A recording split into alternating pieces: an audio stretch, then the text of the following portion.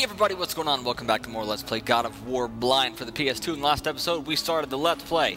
This episode, I'm going to, most likely... Get them away from the ship! Why won't they die?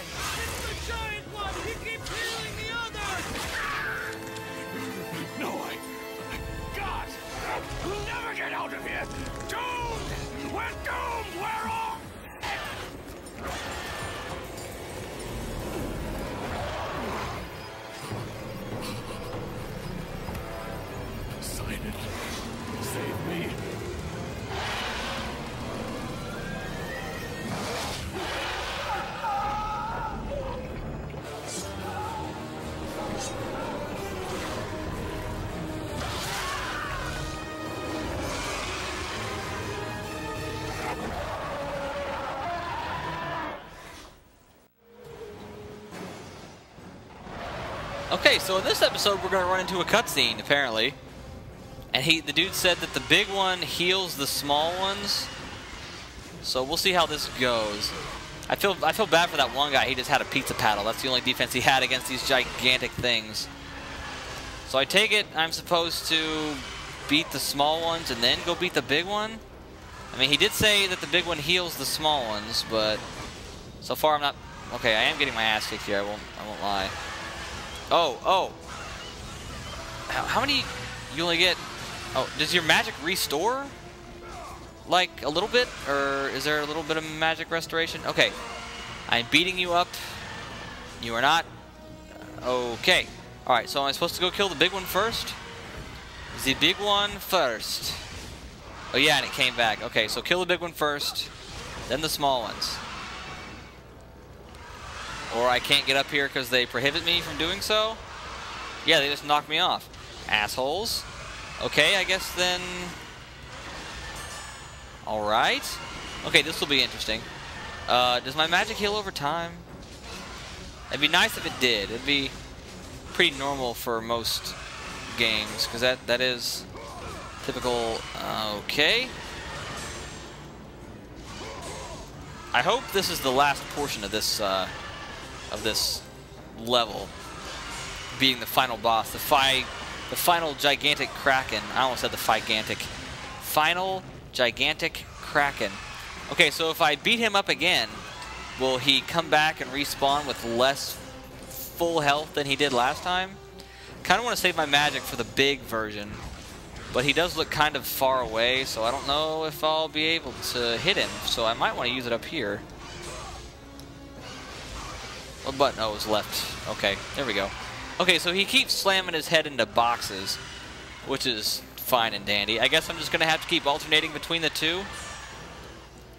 Which, you know, there's nothing wrong with that, I guess.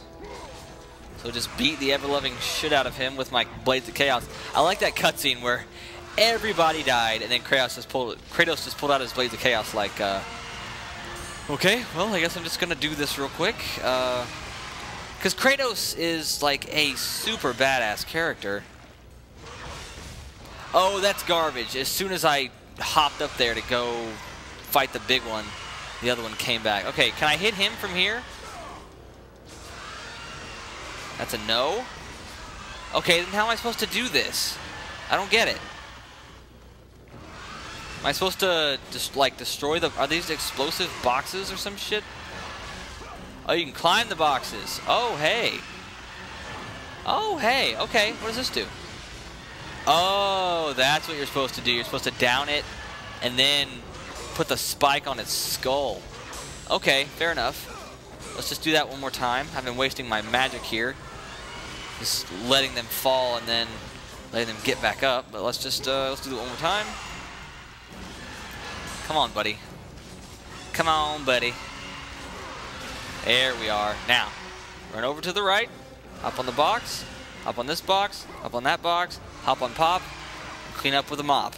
Got it? And your face has been spiked. So you're dead and you lose. And I just got a bunch of souls and everything. it just sits there and writhes in pain. I like that. Very, very evil. Okay, and Poseidon's Wrath, or whatever the fuck it's called. Poseidon's Rage. Poseidon's whatever. Poseidon's Butthole. I looked at the pause screen, too. there are apparently Gorgon feathers that increase your max magic whenever you get six of them. It's six for the feathers, but it's only five for the Gorgon's eyes. Why is that? I don't know why they would do that to you. Maybe there are more feathers than eyes or something. I don't know. Alright, so I got rid of both of them, so now I can actually climb the cargo net. You can't do anything about it. I see you moving, trying to get up here to me. So now I'm curious as to why this big one didn't do anything about me killing its children, but, um, you know, whatever, I guess.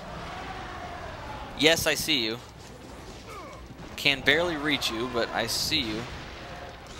Oh, hey, yeah, do that. Do... Can I hit you with magic? No, I can't hit you with magic. I, I, I, oops, hit the wrong button. I tried to grab it. I doubt I could grab this gigantic thing. Okay, bite down. It's like going to the dentist or something. Stop it. I don't want to jump off. I feel like there's a barrier in front of me, though. Ouch. So I don't think I have to fear jumping off, actually.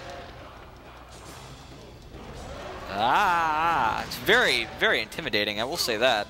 Can I climb this pole? No, I can't. Hello, pole. Ow. Damn. Okay, dude. All right. So I, I guess I have to get it to bite down. It isn't regenerating health, is it? Oh God. Oh God. Wobbledy wobbledy wop. Wobble wobbin. Ah, oh, it's a very hard boss to predict too. I, whenever it opens up its mouth, I assume it's going to clamp down, but even after that, I don't know where exactly it's going to clamp, left, right, or middle, or what's going. And then it, and then it makes me, you know, smell its breath, which I'm like, ew, dude. Yeah, I don't get knocked off the platform because it's like a strong gust or anything. I get knocked off because it smells so bad, and I'm trying to get away from the smell. I'm assuming that's why Kratos does that. Okay. Ah. I can't really predict. Oh, man. It barely has eyes, too. I assume I'm going to get it down to like maybe half or a quarter health, and it's going to start this cutscene, or this interactive portion. I do also know that this game has a sex minigame, too, in it, which I'm very much looking forward to. Okay, I can actually do that. I just can't do it effectively, apparently.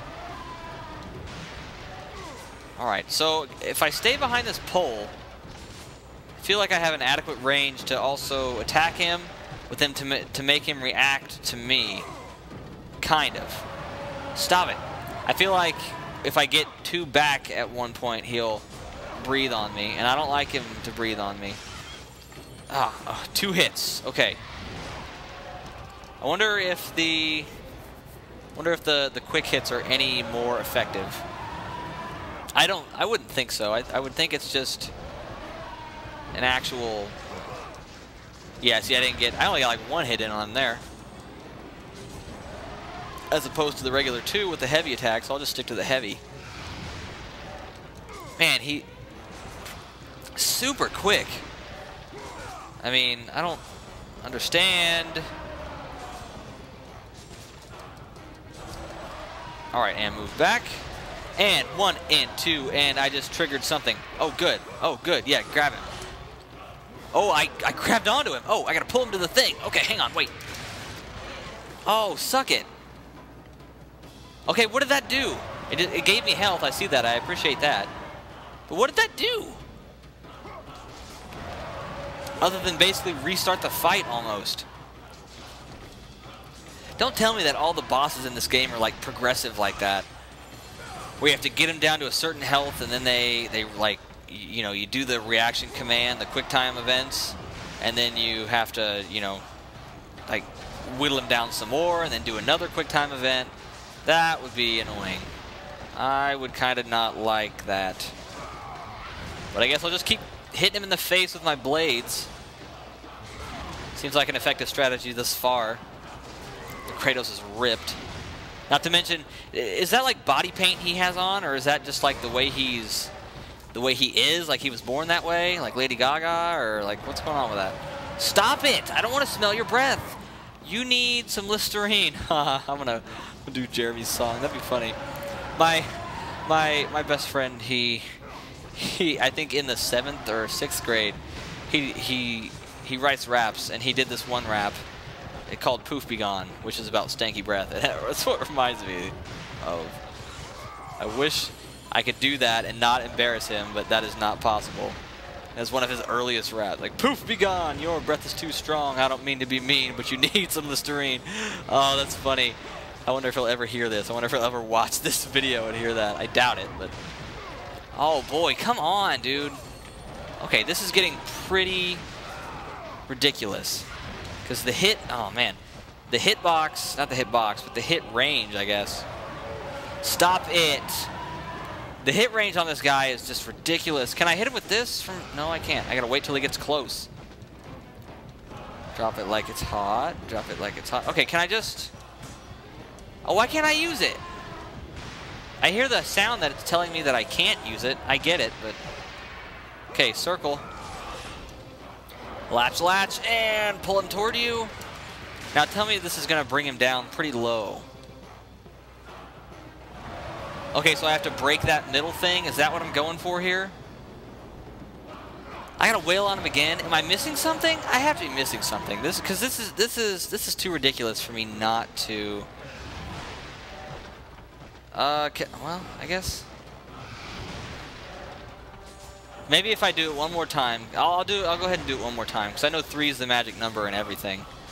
So I'll go ahead and do it one more time, and I'll try to break this, this pole in the middle here, and if I can't do that, then I'll go ahead and try something else. But it's what it seems like it is. It's splintering, as you can see, so I guess we'll go ahead and try that, I guess. Bro. Bro, this is not fun. This is just crappy, tedious crap. I hope the thing, like, splinters and impales him, and I don't have to fight him very more, uh, very, very more often for very much longer. That's a sentence I was trying to get across. Okay. Come on. Oh, man. All right, there we go. Okay, so let's circle one more time. Circle, circle, circle. And then circle reaction command. Here we go. Pull him toward the thing. And it broke off, okay? It broke off, and what did it do?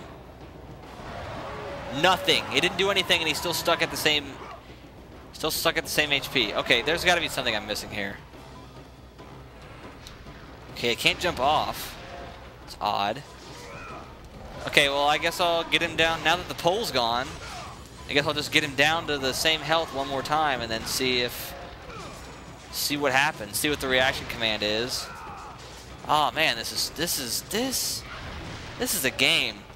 I was really starting to like this game, and now the game's kind of going downhill a bit. This fight is just this fight is dumb. Go ahead and say that right now. I like the fact that you had to kill his two little children minions before you got to take him on. I did like that, but the fact that you have to do this. Can I pause? I can pause. Oh, you can upgrade. I need 448, or no, 498 more uh, souls for an upgrade to my Blades of Chaos. I can upgrade that or my my one magic spell, but I figure I'll go ahead and do the Blades of Chaos. I figure the Blades of Chaos is, is much more important. I just got some health there. Okay, I feel like the game is holding my hand a tad bit because I was pretty low on health, and I just I hit him like with a four hit uh, concession, like in a row, and uh, it gave me health. See, just like that too. Is that a thing? Is it like, do you get health with consecutive hits, or is that just the game being nice to me on the first boss? Either way, this is getting dumb. Oh, is his health actually going down now, and I can actually whittle him as opposed to doing crappy action commands? Or reaction? Give me health. Thank you. And run away. Oh, I got him with it. Hey, oh, you can actually, you can do it. If you time it right. I bet people are yelling at me like, use your freaking magic, you idiot. Time it correctly. And I'm like, bro, I tried to and I can't. And you're like, why didn't you do it? And I'm like, bro, I can't do it. Okay, well, I have him under half now. Which is nice, but I mean, come on. I mean, you could definitely tell. This game was made in 2005, by the way. Okay, you're rocked. Okay, I assume that would be where the reaction command would come up. Oh, there it is, there it is, there it is. Hey, do it. Okay, hook it onto his eyeball. And circle. Okay, so this is just straight up buttons then. Circle, circle, circle, circle, circle, circle, circle, circle, circle, circle, circle, circle, circle, circle, okay. Okay.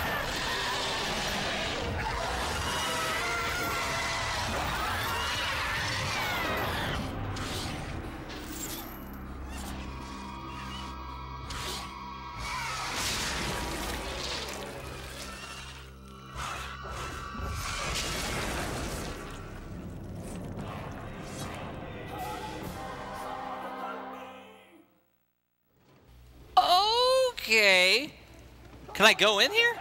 I can go in here. Look at this. I can go inside. A lot of stuff just happened in that cutscene, and I just went inside the guy. Thank you. Thank the gods you came back for me. I didn't come back for you. No!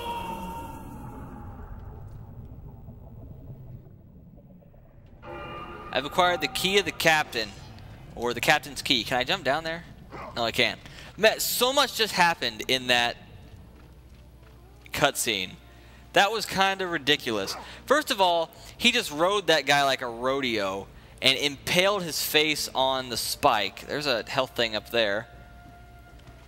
And then he just pulled his blades back like a pro. And then these things, the smaller ones, their heads just imploded which I thought was interesting. I don't know why that happened. I guess because their leader died or whatever, but is that going to be a recurring theme?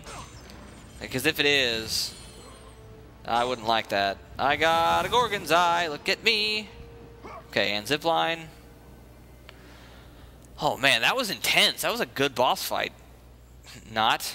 Oh, and I'm back here at the save point. Uh, should I save? Where should I go? I'm going to go ahead and save real quick, actually. Hang on. Depending on how long it'll save, I might cut it out, I might not. Let's just see. Taking a long time. I'm going to save in this spot. It'll probably take a long time. Nope, it didn't. Hey, look at that. All right, so I just... Oh, I go back to uh, I go back to the cabin and unlock the door. Okay. Oh, hey, look, fights. I want to fight. I love to fight. Oh, I love to fight. trying to be Australian. Oh, did you know that they're coming out with a new season of the Joe Schmo Joe Schmo Show? For anybody who'd never heard of that show, it was a show that was on for like two seasons in 2003 and 2004, and it's the show about. It's supposed to be a reality show, but the entire thing is fake except for one guy. They're all supposed to be like contestants on a reality show, except they're all actors, except one guy. And it, the you know, the end of the game or yeah, the end of the game show, it's supposed to be like a spoof on this guy and how they all tricked him and whatnot. And uh, it's a really funny concept for a show. It's just like there's a show on Sci-Fi who, who, if anybody hasn't heard about it, I've yet to see an episode of it because I currently have no cable in my room. But for anybody who hasn't even at least heard of this show, it's called. Uh, oh, what's it called? I oh I forget. It's like something in the dark it's hosted by Jaleel White, who, for those of you who don't know, is uh, Urkel. Hosted by Jaleel White, and it's this show. It's this. It's a brilliant concept. I don't know why it's it isn't more popular than it actually is. It's this show where people are put in situations. They're like in the dark in this room, and they have to like reach into boxes and stuff and like feel around in the dark. And the thing is, they don't know what it is. But most of the time, it's like really, you know, it's it's not dangerous stuff at all. Press R2 to unlock the door. Is this where I get to have sex? Is this the sex minigame? Sexual sex and sex?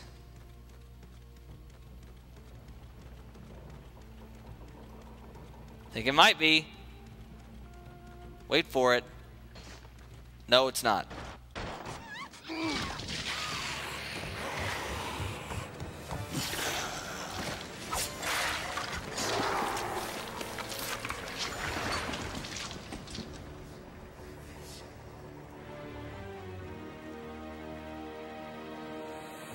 Slaughtered like animals, the victims lay before him, a reminder of his own past, a past he could never escape.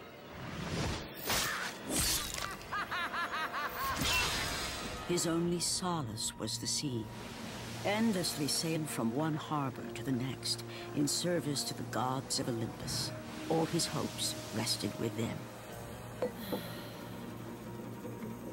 For no matter how much wine he consumed or how many women he took to his bed, nothing on earth could rid him of the horrors that plagued his mind. Athena! Ten years, Athena. I have faithfully served the gods for ten years. When will you relieve me of these nightmares? We request one final task of you, Kratos. Your greatest challenge awaits in Athens, where even now my brother Ares lays siege as we speak. Athens is on the verge of destruction. It is the will of Ares my great city fall. Zeus has forbidden the gods from waging war on each other. That is why it must be you, Kratos. Only a mortal trained by a god has a chance at defeating Ares. And if I am able to do this, to kill a god, then the visions, they will end? Complete this final task, and the past that consumes you will be forgiven. Have faith, Kratos. The gods do not forget those who come to their aid. Leaving the rotting carcass of the Hydra behind, Kratos set sail once more. His greatest challenge and freedom from his growing madness lay before him in the ancient city of Athens.